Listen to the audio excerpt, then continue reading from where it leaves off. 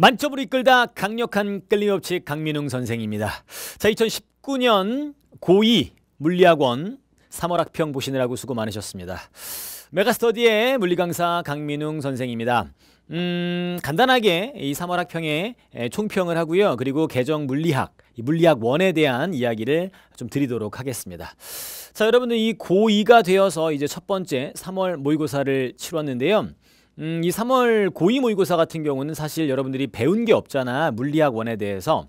그렇다 보니까 아, 1학년 때 배웠던 통합과학이죠. 통합과학에서 진행됐던 내용들 중에 물리학과 관련된 문제 20문항이 출제가 된 겁니다. 알겠죠? 그러다 보니까 여러분들이 에, 이걸 뭐 수능을 준비하듯이 공부한 게 아니지 않습니까? 그래서 과거에 뭐 내신 공부한 거 그리고 띄엄띄엄 물리 공부를 했기 때문에 에, 점수가 잘 안 나오는 게 당연합니다. 알겠죠? 그래서 점수에 너무 연연해하지 말고 어, 메가스터디 같은 경우는 그 실시간 등급 컷, 몇 등급을 내가 맞출 수 있는가, 몇 등급인가, 1등급 컷이, 2등급이 몇인가, 이런 것들이 제공이 되지만 어, 그런 거에 너무 신경 쓸 필요는 없겠습니다. 자, 일단 이 3월 모의사가 여러분들이 그렇게 추, 크게 중요하다고 생각을 하지 않기 때문에 차후에 진행되는 것들, 어, 그런 것들에 대한 이야기들도 어, 좀더 많이 이야기를 해보도록 합시다. 자, 간단하게 일단 이 이번 시험에 대한 얘기를 좀 할게. 첫 번째는 어, 범위.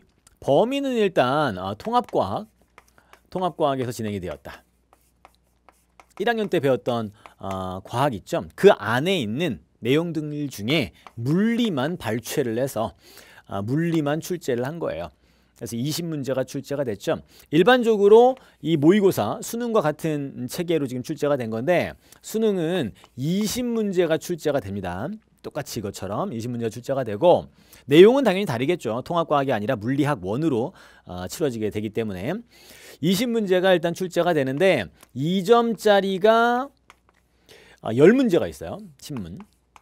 10문제고요. 어, 당연히 3점짜리도 똑같이 10문제입니다. 알겠죠? 그래서 합치게 되면 전체가 50점이죠. 그렇죠? 50점. 50점을 만점으로 해요. 음. 형식은 똑같으니까 형식에 대한 얘기를 해줄게요. 여러분들 그게 더 필요할 것 같아. 이 모의고사가 어떤 의미가 있었고 앞으로 내가 어, 2학년 내내 물리학원을 공부할 거고 수능에서는 또 물리학원을 어, 응시할 수도 있지 않습니까? 그렇기 때문에 그랬을 때 어떤 체계가 지금 본 이 3월 모의고사랑 똑같냐? 이게 똑같습니다. 알겠죠? 이게 똑같은데 에, 통합과학이 아니라 이제 물리학 원이라는 아, 책에서 교과서에서 출제가 되겠죠. 50점이고요. 이번에 아, 뭐 등컷이 중요한 건 아니지만 1등급 컷이 43점 정도로 나왔어요. 수능으로 가시면 이제 44, 45 이 정도를 1컷으로 보시면 되는데 좀 못 본 거죠, 여러분들이. 좀 못 봤습니다. 난이도도 이렇게 높지 않았는데 통합과학에 대한 충실도가 이렇게 높지 않았을 거 아니야. 그러다 보니까 1컷이 43점 정도, 2컷은 39점 정도. 39점을 넘으면 2등급. 알겠죠?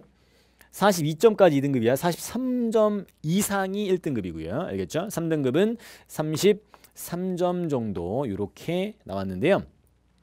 수능에서 이제 물리학원을 여러분이 실시를 한다고 했을 때 또는 고3 때 모의고사를 본다고 했을 때 요거랑 비슷하거나 약간 높습니다. 알겠죠? 약간 높아요. 음, 근데 비슷하게 나온 거 좀 어려울 때 등급 컷이 나와 있어 지금. 그리고 4등급 상위 40% 정도까지가 4등급인데 26점 반 정도 맞으면 4등급 정도 나온다. 상위 40% 안에 들어간다. 이렇게 생각하시면 돼. 50점 만점 중에 25점 정도면 4등급 40%그 정도 됐습니까? 감을 잡겠어요? 음, 요렇게 에, 출제가 됐고 전체는 뭐 범위는 분명히 이제 다음 시험부터 달라집니다. 다음 시험부터는 통합과학이 아니겠죠. 물리학 원으로 바뀌게 되는데 고2 때는 말이야. 고2 때는 범위가 순차적으로 들어가요. 순차적으로. 왜냐하면 여러분들이 앞 2학년 때 이 물리학원을 공부를 해야 되는 건데 앞부분에 공부한 부분에 대해서 모의고사가 실시된다는 거죠. 고3 그리고 수능은요 모두 전범입니다. 고3 때는 이제 3월 달부터 계속 전범위로 모의고사가 실시가 되는데 고2 때는 순차적으로 범위가 증가를 하게 됩니다.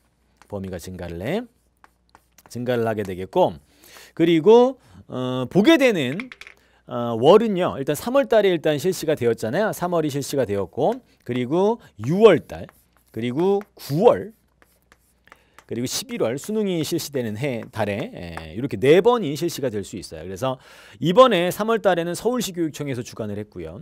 서울시 교육청. 6월 달에는 어, 부산시 교육청. 9월 달에는 인천시 교육청 그리고 11월 달에는 경기도 교육청 이렇게 주관을 하게 되는데 학교에 따라서는 네 번을 다 실시하지 않고 뭐 두 번, 뭐 세 번 이렇게 실시하는 경우도 있습니다. 알겠죠? 학교에 따라 달라요, 이거는. 일반적으로 두 번 이상은 실시를 합니다. 그래서 범위가 조금씩 조금씩 누적이 되어 간다라는 것을 알아두시면 되겠어요. 이게 고2만의 특성이야. 알겠죠? 특히 이번 시험 같은 경우는 어, 가장 많이 틀린 문제는 일단 뭐 19번 송전 문제고요. 송전, 전기 송전하는 거. 그리고 16번 발전 방식. 전기 파트를 여러분이 조금 어려워했던 것 같아. 발전 방식, 뭐 핵, 핵발전이라던가 또는 조력 발전 이런 것들. 물론 약간의 함정은 있었습니다만. 그리고 어, 속도와 가속도 뉴턴 역학 3번을 좀 많이 틀렸고요. 15번 포물선 뉴턴 역학이죠. 그리고 17번 스펙트럼 파동 파트인데요. 그런 식으로 좀 많이 틀렸어요.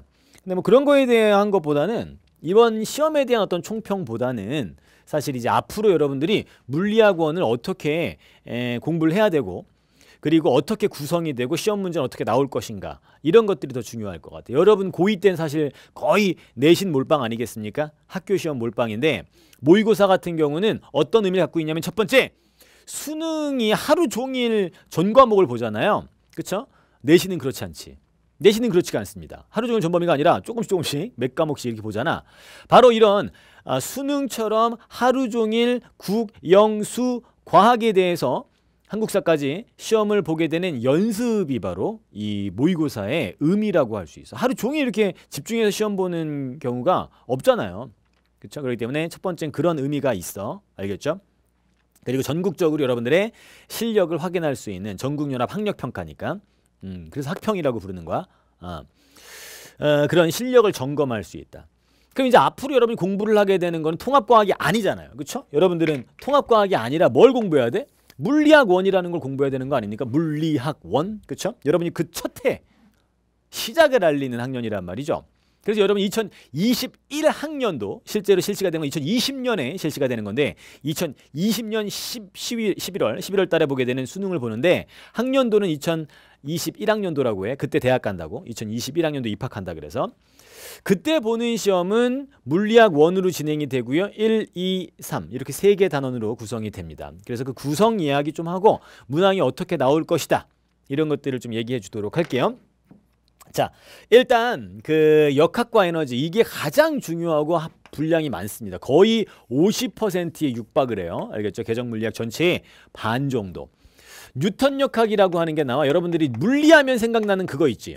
물리하면 생각나는 게 뭐예요? F는 ma 이런 거. 속도는 시간분의 거리 이런 거 있지. 어, 일, 에너지 이런 것들. 이런 것들이 뉴턴 역학. 이게 아주 비중이 높습니다. 전체 20문항 중에 거의 여섯 문제 가량이 여기서 출제가 될 거예요. 알겠죠? 20문항 중에. 음. 그리고 두 번째는 여기 연력학이 들어있거든요. 열 에너지에 대한 거. 연력학이라고 부르는데 이 연력학 문제가 어, 두 문제 가량 출제가 될 수 있다. 뭐 아직은 수능이 치러지지 않기 때문에 정확한 수치는 아닙니다. 근데 분량으로 따져봤을 때 이 정도 나올 것이다 라고 현재 예상을 하고 있어요. 그리고 이 세 번째는 상대성 이론이 등장을 해요. 이게 상대성 이론, 특수, 특수, 특수. 일반 말고요. 특수 상대성 이론인데 되게 쉽게 출제가 될 겁니다. 상대성 이론이 사실 되게 어려운 학문이기 때문에 고등 과정에서는 아주 그냥 쉬운 것만 좀 알려줘. 그래서 여기서 어, 두 문제 정도가 출제가 됩니다. 근데 여기서도 이제 핵 발전, 우리나라의 그 원자력 발전이잖아. 그 내용이 살짝 들어가기 때문에 그게 출제가 될 수 있어.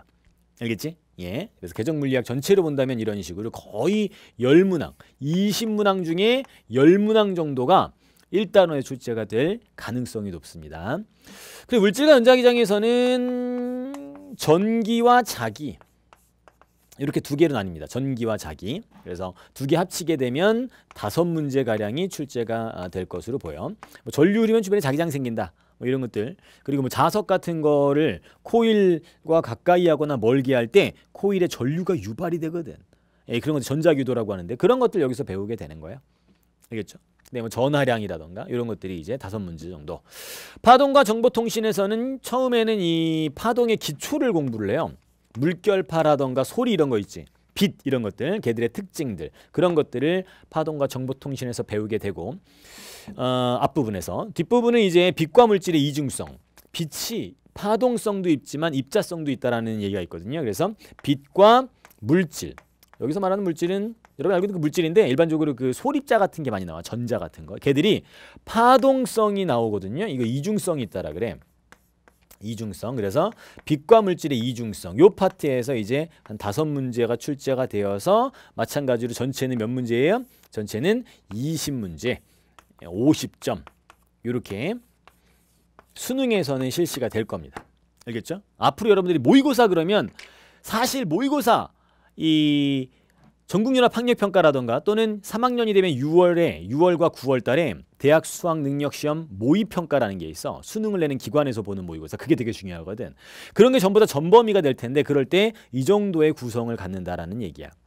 다만 이제 여러분들이 고2지 않습니까? 고2 때는 아, 내신에서 앞부분부터 이렇게 시험 범위가 들어가듯이 학평도 여기부터 뭐 뉴턴 역학이 그 다음에 뭐 여기까지 뭐 여기까지 여기까지 이렇게 3, 6, 9, 11월 이렇게 쭉 이어지면서 어, 모의고사가 진행이 될 겁니다. 알겠죠? 자 이번 뭐그 3월 학평에 대한 이 총평 캐스트 같은 경우는 여러분들한테는 사실 그렇게 중요도가 높지 않기 때문에 아, 전체적으로 어떤 구성을 갖고 그리고 어떻게 문항 구성이 되어서 여러분들이 나중에 시험을 어, 보게 되는가 그, 그것에 좀 초점을 맞췄어 알겠죠? 음, 일단 지금 당장 여러분들이 해야 될 거는 3월 달이잖아. 그치? 학교 어, 수업 잘 들으면서 내신 준비를 충실하게 하는 게 더 중요하다. 알겠죠? 모의고사 같은 경우는 어, 수능에 대한 연습 이렇게 생각을 하시면 돼요. 그동안 나의 실력 점검 이렇게 생각을 하시면 되겠습니다. 어, 2학년 때 여러분들이 그 학교 시험들을 좀 잘 봐놔야지 3학년 때 좀 편하니까 모의고사도 물론 중요합니다만 학교 시험에 좀 더 충실하게 여러분들이 시간 투자를 하셔서 공부를 해 놓으셔야 돼. 그걸 기반으로 모의고사 성적이 나오는 거니까. 알겠지? 예, 그런 생각하시면서 1년간 열심히 공부해 주시기 바랍니다. 고맙습니다.